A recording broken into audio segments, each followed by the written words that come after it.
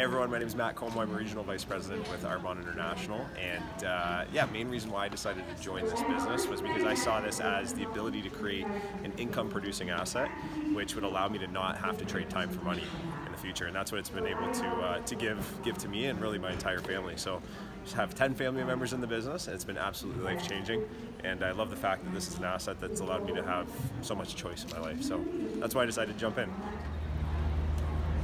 Hey, uh, my name is Andrew Samuels. I'm an independent consultant and national vice president. I live in Melbourne, Australia.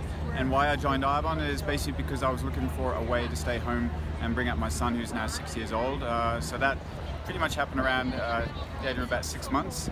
So I've actually managed now to spend his entire life being present in his life at home. That's it.